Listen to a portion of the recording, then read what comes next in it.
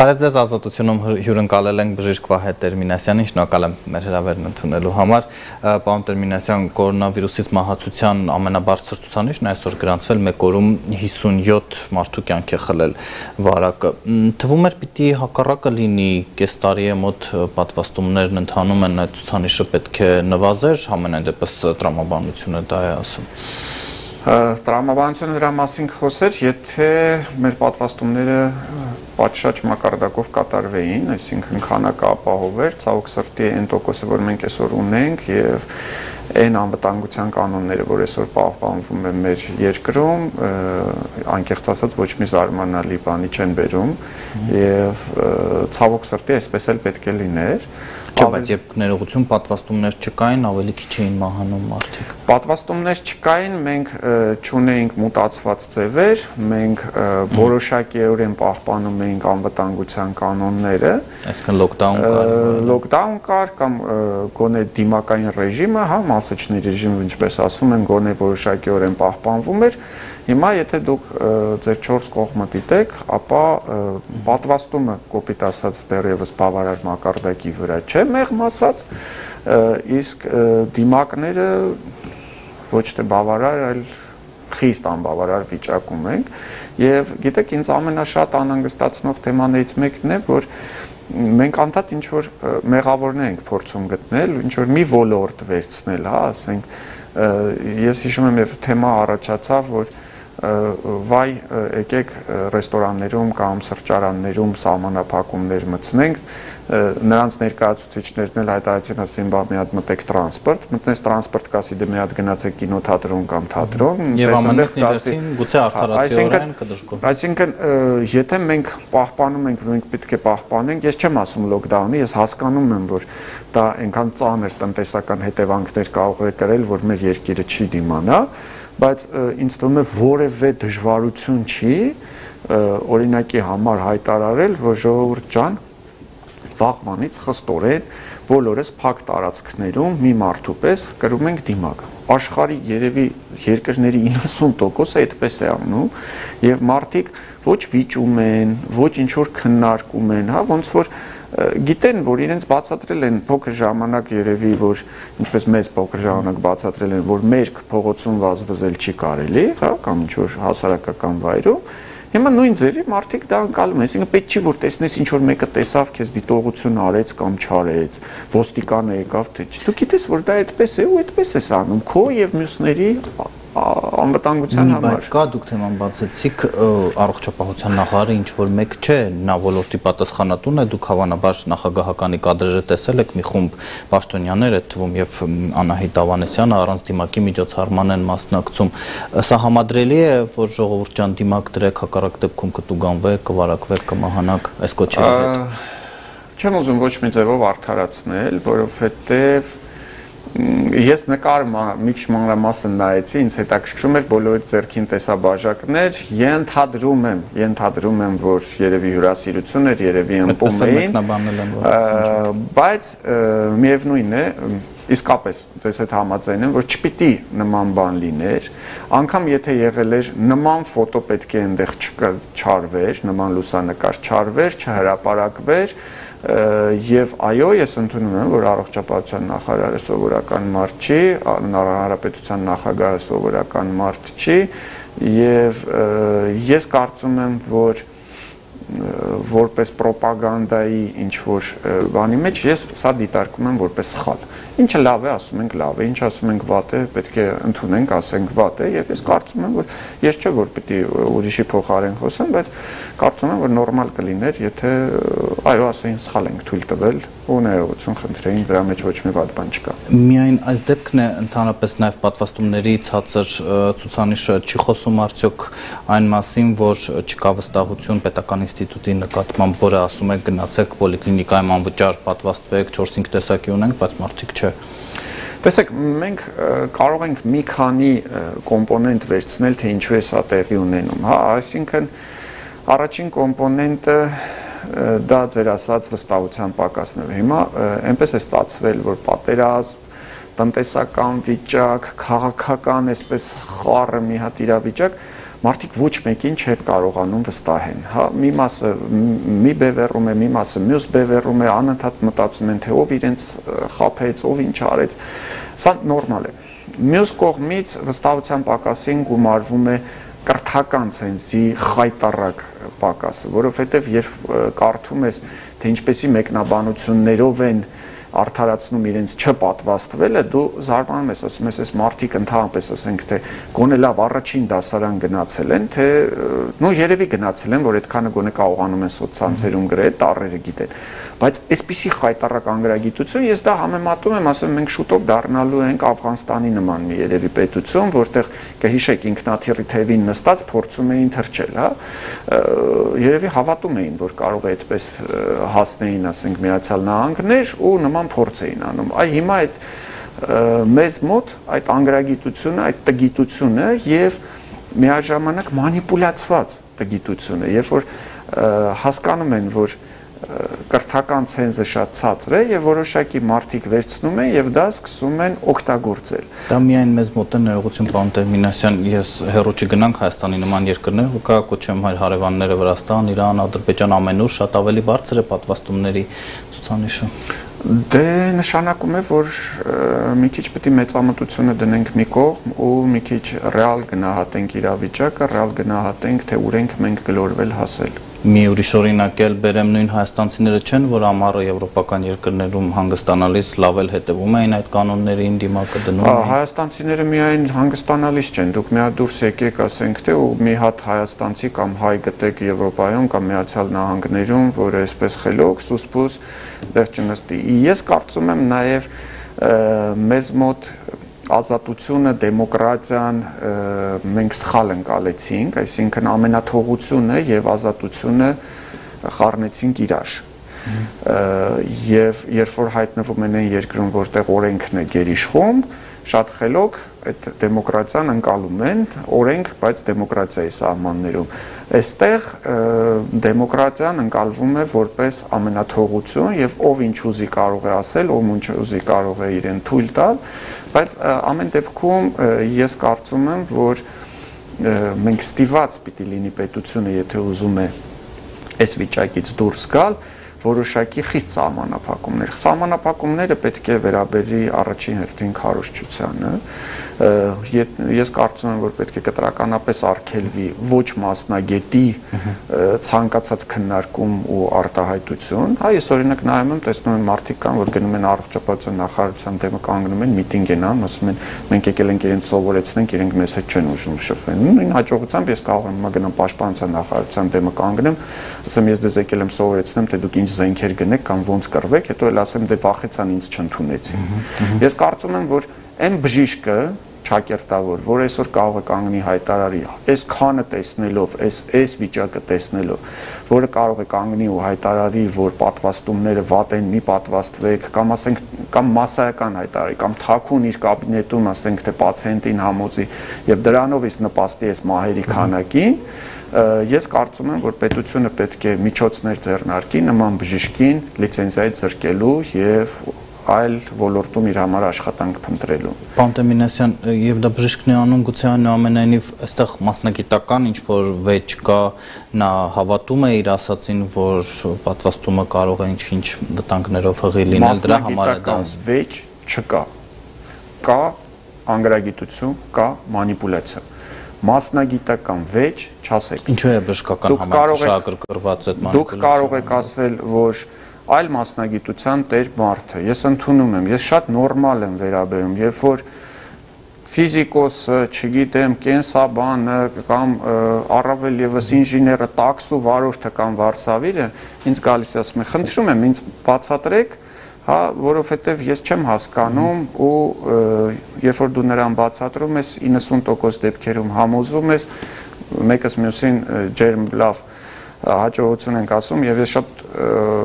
իրականում հպարտանում եմ, որ շատ-շատ-շատ մարդիկ ասում են, այ մենք ձեզ լսեցինք, գնացինք, պատվաստվեցինք։ Ես կարծում եմ, որ ուրեմն օրինակ եթե ինչ որ մեկ այսօր լսի ու գնա պատվաստի, մեր ու ձեր զրույցը այսօր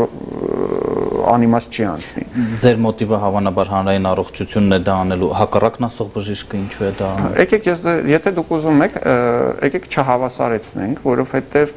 դուք հիմա որ ասում եք, դուք ասում եք վեճ, ստացվում է, որ բժիշկների 50%-ը ասում է եկեք պատվաստեք, 50%-ը ասում է եկեք մի պատվաստեք։ Դրանք փոքրամասնություն։ Դրանք փոքրամասնություն չի, դա մի հատ խումբ է ընդհանրապես մարդկանց, որոնց պարագայում ես կարծում եմ ցանկացած լրագրողական հետա հետաքննություն կարող է հատ-հատ ցույց տալ, թե ամեն մեկի փորացավը ինչ է իրենց ներկայացնում։ Թե ով որ ժամանակահատվածում է պաշտոնից զրկվել, ով որ ժամանակահատվածում է փողի, հա, աղբյուրից զրկվել եւ ով ինչու է ուզում առողջապահական համակարգը տանի այսպիսի վատ իրավիճակի ու հետո կանգնի տեսեք դուք չկարողացաք վիճակը կառավարել Ես ոչ մի կողմից չեմ, ես բժիշկ եմ եւ ես ուղղակի Հայաստանի Հանրապետության քաղաքացի եմ, ես հասկանում եմ, ես գիտեմ եւ ես այո չարանում եմ այն մարդկանց հանդեպ, ես չեմ կարող չարանալ այն մարդկանց հանդեպ, ովքեր չեն հասկանում, չգիտեն եւ իրենց չգիտակցված քայլերով գնում են մահվան, բայց ես այո չարանում եմ այն մարդկանց հանդեպ, որոնք գիտակցելով ուրիշներին տանում են մահվան Պարոն Տերմինասյան, այնուամենայնիվ միայն մահացությունը չէ, որ բարձր ցուցանիշ է արձանագրում 300.000 պաշտոնական տվյալներով վարակակիր են ունեցել այս շրջանում, ենթադրաբար այս թիվը առնվազն կարելի է կրկնապատկել, այո, տանանտ ոչ բոլոր անդամներն են թեստ տարել, մոտ 200.000 էլ, որ ամբողջական կուրսը պատվաստման ստացել է, սա կարծես քիչ թիվ չէ, որ գոնե ընդհանուր համաճարակային լարվածությունը այսպես բարձր չլիներ, հիմա այն վիճակն է, ինչ ասենք 1 տարի առաջ պատերազմի օրերին։ Լավ հարց եք տալիս ու սիրով փորձեմ բացատրեմ ասեմ։ Տեսեք, այսօր արդեն մենք ունենք բազմաթիվ դեպքեր, ես իմ շրջապատում արդեն ունեմ բազմաթիվ կրկնավարակի դեպքեր, որովհետև երբ որ մարդիկ ասում են, «Վայ, ես հիվանդացել եմ, ինձ ինչ եք տանում պատվաստման», Ժորժ ջան, եկեք փորձենք հասկանալ, որ այդ հակամարմինները անverջ չեն եւ այսօրվա դրությամբ բժշկությունը գալիս է եզրակացությամբ, որ մեր պաշտպանվածությունը մաքսիմալ լինելու է մոտավորապես մի 6 ամիսը մեկ։ Եվ ես կարող եմ իմ ծնողի օրինակով ասել, որը Հայաստանում առաջի պատվաստվածներից մեկն է եղել իմ հայրը, որին որ օրեր առաջ, քանի որ ես հաշվեցի, որ 6 ամիսը լրացել է, մենք գնացինք կրկնակի պատվաստման Երբ մենք խոսում ենք, երբ որ մարդիկ ասում են՝ «Մի րոպե, եկեք մի հատ հակամարմինները որոշենք, հետո դրանից հետո մեզ ասեք, էլի լավ հարց եք տալ»։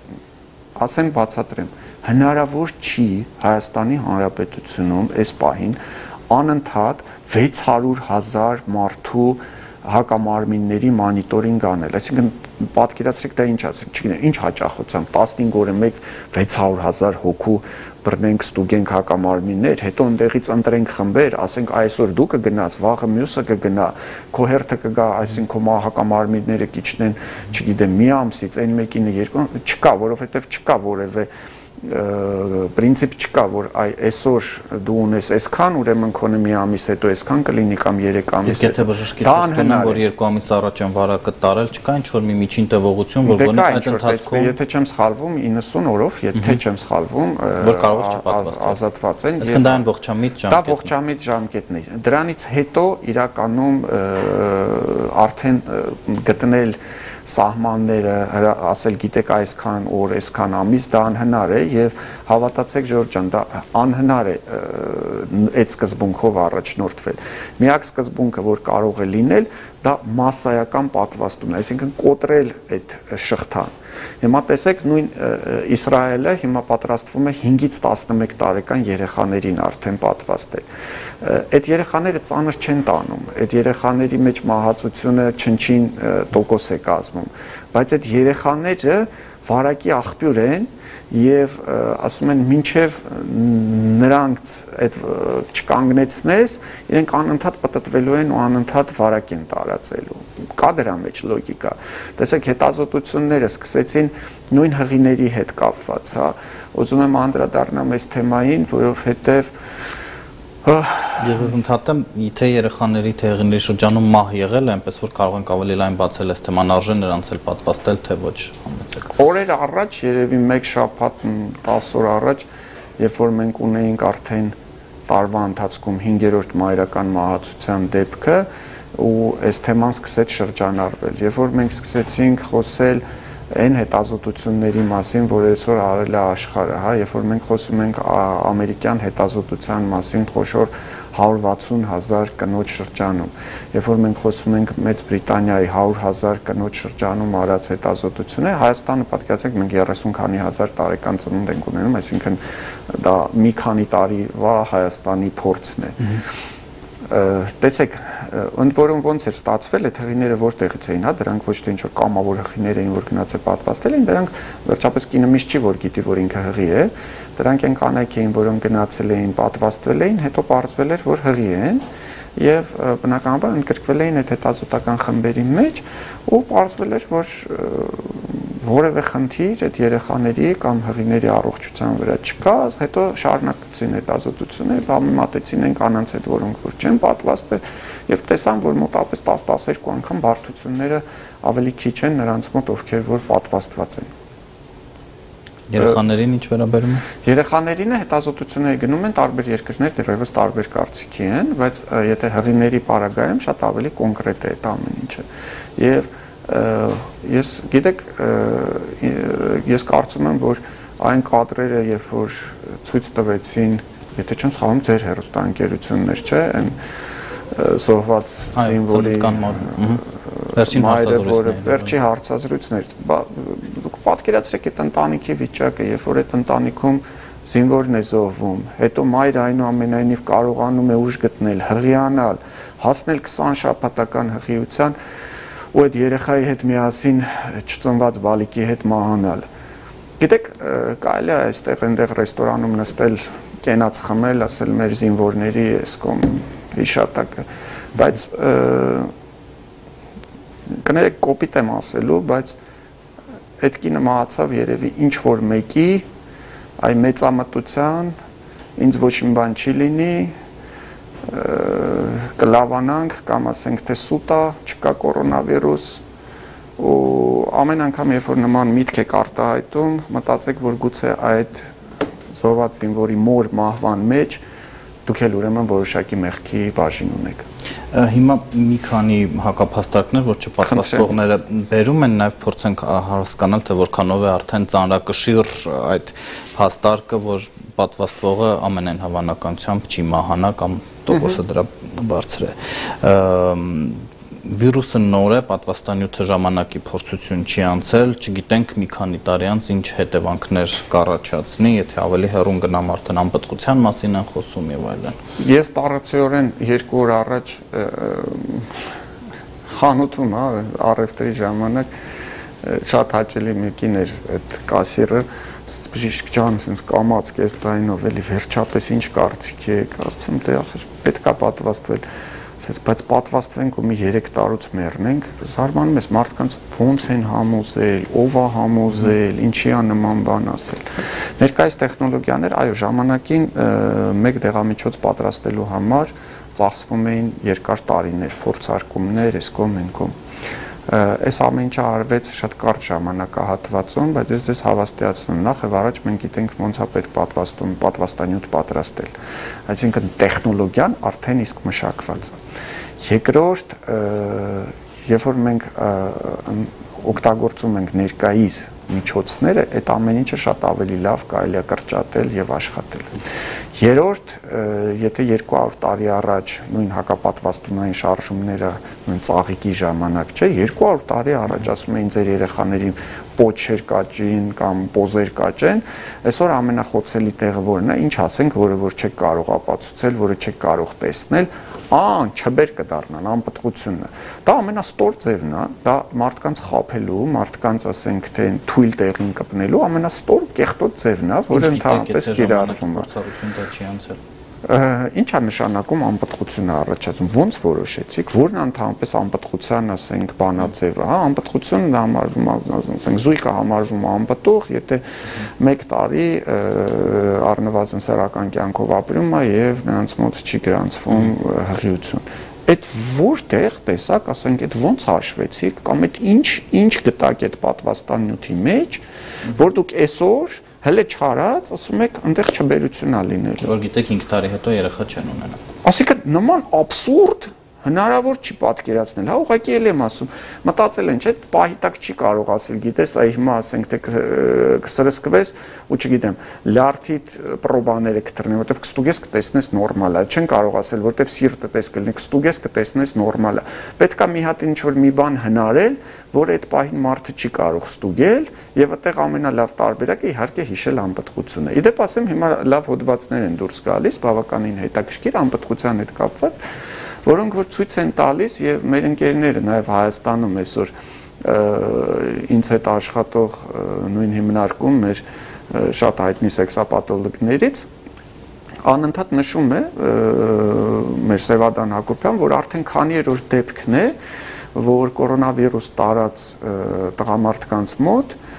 նշվում է սերմի հետ խնդիրներ։ Այսինքն ես հեչ չեմ զարմանա, եթե մենք ունենանք շատ լուրջ տվյալներ, որ կորոնավիրուսով հիվանդանալու պարագայում, այ մենք այն ժամանակ ունենում ենք անպտղության հետ կապված խնդիրներ։ Սրանք իհարկե առանցենք վարակն ինքնին ավելի վտանգավոր է հարցում, քան պատվաստումը։ Հա, տեսեք, նույն պատվաստումը հիշում եք AstraZeneca-ի պարագայում մեծ աղմուկ բարձացավ, որ տրոմբներ են առաջանում։ Հետո եկան հետազոտությունները, որ գիտեք, տրոմբների առաջացման հավանականությունը իրականում AstraZeneca-ով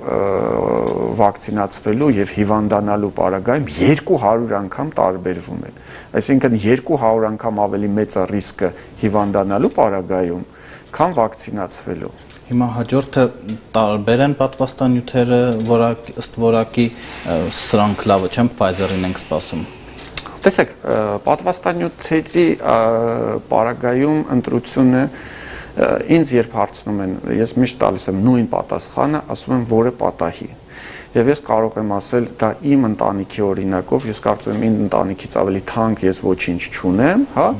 Ես կարող եմ ասել, որ մեր տանը 3 չափա, ասենք 3-ս ենք պատվաստված։ Հայրս պատվաստվել է, երբ որ Հայաստան մտել է առաջինը Սպուտնիկը։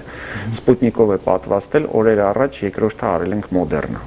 Ես պատրաստվել պատվաստվել եմ AstraZeneca-ով ու ընտրել եմ Sputnik-ով AstraZeneca-ի տարբերակներ, ընտրել եմ AstraZeneca-ն, որ եվրոպական երկրներում կարողանամ ճամփորդել, զուտ այդ սկզբունքով կինս մենք Ամերիկայի Միացյալ Նահանգներում էինք, պատվաստվել է Pfizer-ով։ Մենք տան 4 պատվաստանյութից էլ օգտագործել ենք, հա, կարծես։ Ոչ մի բացական հետևանք մեկը մի քիչ թեթև է ստանում, մեկը ծանր է ստանում, դա շատ ինդիվիդուալ է եւ անկանխատեսելի, բայց այնուամենայնիվ էլ եմ ասում, որը որ այդ պահին կա, որը այդ պահին կարողանում է պետությունը բան անել։ Տեսեք, երբ որ մենք խոսում ենք այդ բուստերային, ասում են երրորդ պատվաստումների մասին, չէ, այսօր առողջապահության համաշխարհային կազմակերպությունը անդադ խնդրում է հարուստ երկրներին, ասում է մի արեք էլի այդ երրորդ, չորրորդը, որովհետև այն խեղճ երկրները, աղքատ երկրները, իսկի առաջի երկրորդը չեն կարողանում ապահովել։ Հայաստանում որ դրած է, ես կհասկանայի, եթե բողոքեին ասեին ամբողջ աշխարհը պատվաստում եմ, դուք մեզ չեք ապահովում։ 100% կհասկանայի։ Բայց երբ որ բերել են անվճար դրել են, ու մենք ինքներս մեզ, չգիտես ինչու, մտցնում ենք անհարմար վիճակի մեջ։ Ինքներս մեզ սպանում ենք։ Գիտեք, մենք փող կորցնեինք, մենք աշխատանք կորցնեինք, մենք չգիտեմ, ինչ որ ինչ որ բաներ նյութական կորցնեինք, ես կհասկանամ, ախր կյանքից թանկ ոչինչ չկա կյանքը ամենաթանկ բանն է, որը չես վերականգնի։ Հարազատիդ կյանքը եթե գնաց վերջ։ Ու ես զարմանում եմ, երբ որ մենք գիտենք հաղթահարելու միջոցը, մենք գիտենք, որ գնում ես այդ ներարկում անում ես ու դրանից հետո ամենայն հավանականությամբ դու չես մահանա, ամենայն հավանականությամբ դու ուրիշի մահվան պատճառ չես դառնա։ Այնտեղ դրած այդ ամեն ինչը կարելի է անել ու չես անում։ Ես կարող եմ նշել անշուշտ ամեն ինչը իդեալական չի բնականաբար երբ որ ասում են հերթերը գլուխս կախում եմ ասում եմ դրիվ համաձայն եմ ժողովուրդ ջան չպետք է այդ հերթերը լինեն ոչ թեստավորման համար հա որտեվ դա անշնորհք հերթեր են մարդիկ իրար գլխի լցված ոչ պատվաստումների համար հերթերը դրանք անշնորհք կատարված բաներ են ես գիտեմ բաց թողումներ ասենք օրինակի համար ես բացարձակ համաձայն չեմ այն թեզի հետ որ եթե մարդը ազատված պատվաստումից օրինակի համար հղին, հա։ Տեսեք, այսօր Հայաստանում ես կարծում եմ դա բաց թողում է, կոպիտ բաց թողում է, որովհետև եթե հղին այսօր ազատված է պատվաստումից, ինչքան ես գիտեմ, նա ազատված է նաև թեստավորվելու անհրաժեշտությունից։ Այսինքն, եթե ձեր կոլեկտիվում կա մեկ կամ երկու հղի, հո այդ վիրուսը չի հարցնելու հղի ես թե չէ ու ասենք քեզ չեմ վարակել։ Եվ ինքը հանգիստ կարող է դառնալ ուրիշների համար վարակի աղբյուր ովքեր չեք ուզում իրենց ստիպեք, որ իրեն գումար ծախսեն, ուրեմն գոնե այդ խմբի համար հետազոտությունը, թեստավորումը պետք է պետությունը վերցնել իր վրա։ Թեստերի ինստիտուտը ընդհանրապես խնդրահարույց կարող է լինել այն իմաստով, որ հիմա թեստը կանեմ, մի ժամից կվարակվեմ, այո, առաջիկա մինչև հաջորդ թեստը առաջիկա 14 օրերին էլ շրջապատից կվարակեմ։ Իրականում ես ասեմ, իրականում սա մենք բոլորս էլ հասկանում ենք, որ սա արվել է ամենայն հավանականությամբ մի նպատակով խթանելու համար պատվաստումների գործընթացը եւ եթե բազմաթիվ երկրներ շատ ավելի կոպիտ միջոցներ են ներդնում հիմա տեսեք Ռուսաստանը ամենայն հավանականությամբ հա ուզում է դադարեցնի չպատվաստված մարդկանց մուտքը իր երկիր ընդհանրապես։ Հիմա այն որ Հայաստանում նստում ենք, գնում ենք, գալիս ենք, հիվանդանում ենք, այդ հեչ, բայց այդ դե չէ Ռուսաստան գնալու համար գնամ պատվաստվեմ։ Լավ, ինչի եք ուզում, որ մենակ ուրիշի համար այդ ամեն ինչը անենք։ Գուցե մենք մեր սեփական երկրի համար, մեր ժողովրդի համար այդ ամեն ինչը անենք։ Եվ բան մինասյան տերմինասյան ներողություն վերջինը կրկնակի պատվաստվել եմ, վերջապես ուզում եմ այս դիմակներից ազատվել, այստեղ էլ էլի սահմանափակումն վրա տարածվում է։ Տեսեք, եկեք չհամեմա չդնենք մի զամբյուղի մեջ, հա, այսինքն պատվաստվելը եւ դիմակները դրանք տարբեր բաներ են։ Ես պատվաստված եմ, ես հիմա նստած եմ այստեղ դիմակով պատվաստվել երբեք ու երբեք ոչ ոք չի ասել, որ եթե դուք պատվաստվում եք, դուք 100%-ով պաշտպանված եք ու դուք չեք հիվանդանալու։ Ես բերում եմ նույն օրինակը, միշտ նույն օրինակն եմ բերում։ Ասում եմ պատկերացրեք, որ պատերազմի, իսկ սա շատ նման է պատերազմի։ Եվ դուք ունեք ձեռքի տակ սովորական մի հատ փայտ, մի հատ քար, ուրիշ ոչինչ չունեք։ Ձեզ բերում են ասում են եղբայր, ուրեմն քեզ մի հատ ավտոմատ ենք տալիս, մի հատ էլ զրահաբաճկոն ենք տալիս։ Չպատվաստվող մարդը նման է այն մարդուն, որ ասում է, չէ, գիտես, ես լսել եմ, որ ավտոմատով ու զրահաբաճկոնով նույնպես մարդիկ զոհվում են։ Դրա համար կներես, ես իմ այս փայտն ու քարը կվերցնեմ ու այսպես յոլա կգնամ։ Հասկանալի։ Չխառնել եւ երկուսը միասին պահել եւ պատվաստումները եւ անվտանգության բոլոր կանոնները ու այդ ամեն ինչը պետք է անել միանգամից իրար հետ իրար ջերմ իրար սիրելով իրար հարգելով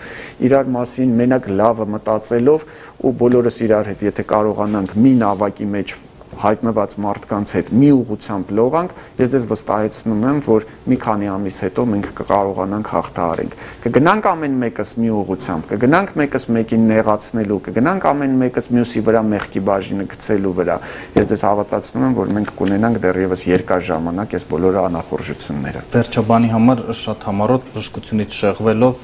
հետ պատերազմյան մտնոլորտը ձեզ հուսադրում է Հայաստան ուղում է ողնաշարը ծանր է ծանր է շատ եւ ես կարծում եմ որ ցանկացած ծանր հարվածից հետո գոյությունը պահպանելու համար մենք պարտավոր ենք լինել ուժեղ ու պետք է լինենք միասնական ես ունեմ իմ քաղաքական մոտեցումները, որոնք որ ես ուզում եմ այդ քաղաքական մոտեցումները տանեմ մի հատ շատ հեռու մի ծակի մեջ խրեմ պահեմ, որովհետև ոչ մի քաղաքական մոտեցում, ոչ մի կուսակցական պատկանելություն կամ ոչ մի բան չարժի հայրենիքը։ Մենք այսօր պիտի դառնանք այն Ճապոնիա, մենք այսօր պիտի դառնանք Գերմանիա,